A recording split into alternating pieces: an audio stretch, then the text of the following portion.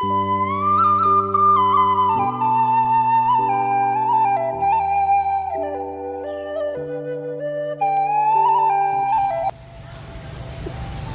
ក្រៅពីគ្រប់តួស្លែងដែលគ្រូបានចេញទៅដើម្បីរហូតដល់អ្នកគ្រូជឿនោះតើមានការទៅណាទៀតទេនៅក្នុងតំបន់កណ្ដាលស្ទឹងយើងនឹងដូច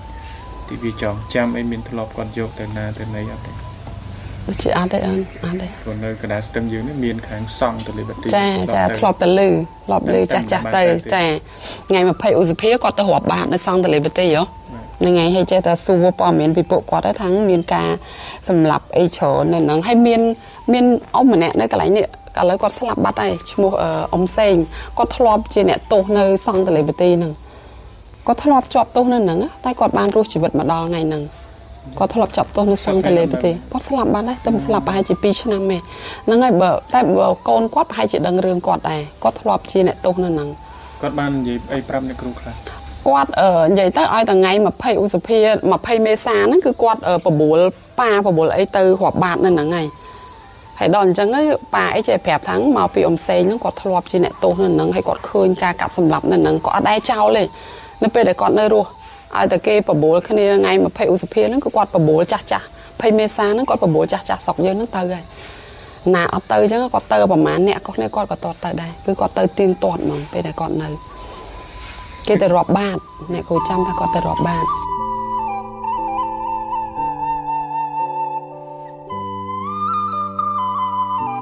ចឹងចំណុចទាំងអស់នឹងហើយដែល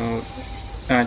មិនថាអាចទៅគឺធ្វើឲ្យអ្នកគ្រូជឿថាមានការកាប់សម្លាប់នៅសម័យខ្មែរចាចាហ្នឹងហើយសម្រាប់ចាស់ចាស់ក្នុងភូមិវិញក្រៅពីឪពុកម្ដាយនិងអ៊ំស្រីដែលអ្នកគ្រូបានលើកឡើងមិញហ្នឹងមានធ្លាប់អ្នកផ្សេងទៀតទេដែល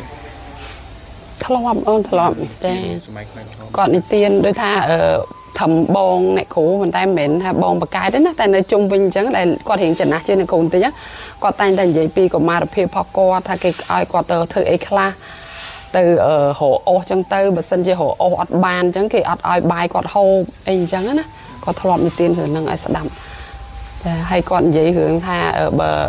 ដូចជាក្មេងដែលអត់មានម្ដាយអីចឹងត្រូវឲ្យយាយចាស់ចាស់មើលអីចឹងទៅគេចងជើងគាត់កុំឲ្យគាត់អឺ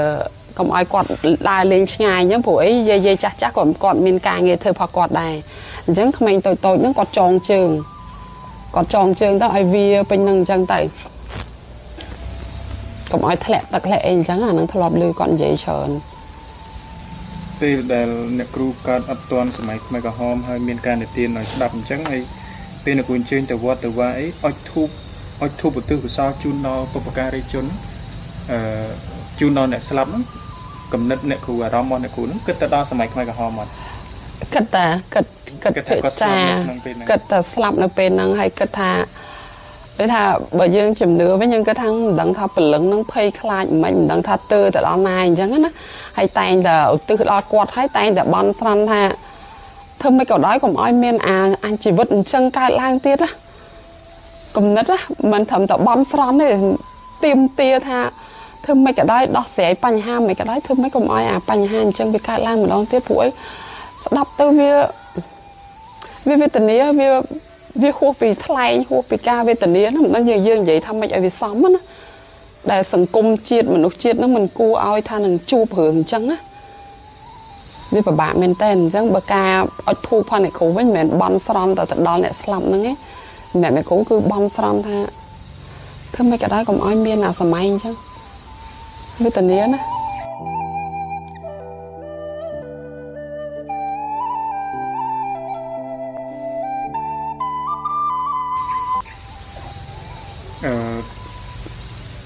ការចងចាំចូលរួមចំណែកក្នុងការចងចាំស្ដីពីវត្តសាស្ត្រខ្មែរក្រហមអ្នកគ្រូយល់ថា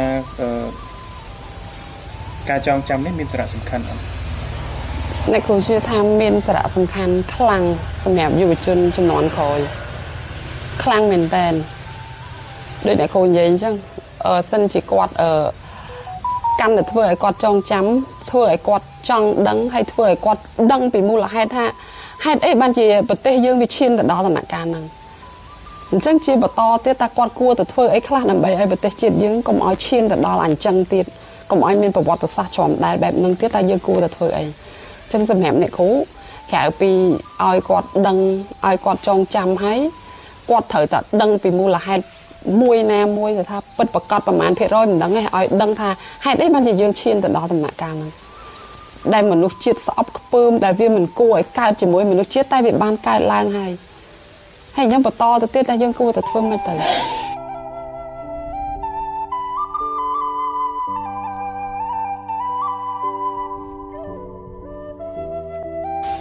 តើរដ្ឋាភិបាលអឺមានទូនាទីដូចម្តេចក្នុងការបញ្ជ្រាបនៅអឺប្រវត្តិសាស្ត្រខ្មែរក្រហមដល់ខ្មែរងងឹតនេះ ដល់សង្គមទូទៅឲ្យបានទូលាយនៅតាមកំណត់អ្នកគ្រូតាមកំណត់អ្នកគ្រូបាទបើយើងពឹងទៅលើប្រព័ន្ធផ្សព្វផ្សាយក៏ជារឿងមួយដែលសំខាន់ដែរព្រោះសម័យនេះប្រព័ន្ធផ្សព្វផ្សាយវាលឿនហើយវាអាចជ្រាបទៅដល់ស្ទាប់យុវវ័យនឹងបានលឿនប៉ុន្តែអ្វីដែលសំខាន់តែយើងធ្វើម៉េចដើម្បីឲ្យគាត់ជឿ ដូចអ្នកគ្រូនិយាយអញ្ចឹងកាលពេលអ្នកគ្រូនៅតូចពេលខ្លះស្ដាប់ទៅអ្នកគ្រូអត់មិនមែនថាមិនជឿថាវាមិនកើតទេតែអ្នកគ្រូមិនជឿថាមិនបានវាទៅជាពិបាកដល់ថ្នាក់ហ្នឹងមនុស្សដូចតែគ្នាសោះហ្នឹងមិនក៏ឲ្យមនុស្សវេទនាដល់ម្លឹងមិនឲ្យស៊ីឆ្អែតហើយឲ្យត្រូវតែប្រឹងធ្វើការទៀតវាមិនដែរបើអត់មានញ៉ាំឆ្អែតផងហេតុអីមិនមានកម្លាំងធ្វើការពេលខ្លះយើងនៅសួរដេញដោលអញ្ចឹងហើយលោកគ្រូជឿថាក្មេងសម័យក្រោយទៀតប្រកាសជាកាន់តែ កាន់តែឃ្លាតឆ្ងាយពីពេលវេលាវាធ្វើឲ្យឃ្លាតឆ្ងាយហ្នឹងកាន់តែធ្វើឲ្យគាត់លែងឆើជឿអញ្ចឹងបើចង់ឲ្យគាត់ស្ដាប់ហើយនឹងយល់ហ្នឹងយើងត្រូវទៅរកចំណុចណាមួយដែលធ្វើឲ្យគាត់ជឿថាប្រវត្តិសាស្ត្រហ្នឹងវាពិតហើយវាបានកើតលើសង្គមខ្មែរហ្នឹងវាពិតទៅហើយប៉ុន្តែវាកើតឡើងដោយសារអីតែយើងគួរតែបង្ហាញគាត់ឲ្យដឹងអត់បង្ហាញការពិតឲ្យគាត់ទាំងអស់ឲ្យដឹងអត់តើហេតុអីបានយើងទៅកើតឡើងបាន បានសេចក្តីថារដ្ឋាភិបាលត្រូវសហការជាមួយនឹងគ្រប់ស្ថាប័នពាក់ព័ន្ធចា៎ដូចកូនអ្នកគ្រូអ្នកគ្រូនិយាយរឿងមួយអឺម្ដាយក្មេងអ្នកគ្រូ